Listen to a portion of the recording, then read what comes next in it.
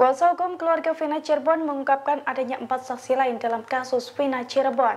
Empat saksi tersebut diduga bisa mengungkapkan apakah Peggy Setiawan alias Perong yang baru ditetapkan sebagai tersangka itu merupakan pelaku pembunuhan Vina atau bukan.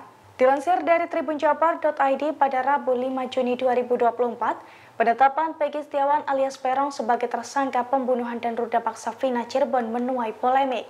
Terlebih banyak saksi yang mengungkapkan bahwa Peggy berada di Bandung saat Vina dan Eki dibunuh. Merespons hal ini, Dea Saskia, salah satu kuasa hukum Vina mengungkapkan soal adanya cara untuk memastikan sosok Peggy. Menurut Dea, Peggy sempat minum minuman keras bersama sejumlah orang sebelum peristiwa pembunuhan dan ruda paksa terhadap Vina dan Eki. Di antaranya Nurdatul Kafi, Pramudia Wibawa Jati, Teguh Wijaya, Ahmad Saipudin alias Aib, dan juga Okta Rangga. Dia pun mengatakan dari lima saksi yang ada, baru Aib saja yang diperiksa oleh polisi. Sedangkan empat lainnya belum dimintai keterangan.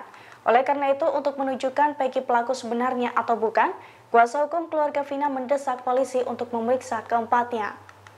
Uh, uh, Peggy dan pelaku lain ini minum-minum minum-minum dulu uh, waktu itu minum ciu di warung Bu Nining di warung Mereka uh, minum bersama. Ada saksi yang bernama Muhammad Nurdatul Kafi, Pramudia Wibawa Jati, Teguh Wijaya, Ahmad Saipudin atau Aep, Oktarangga. Nah, mereka ini minum-minum bersama bersama Peggy gitu loh. Download Tribun X sekarang.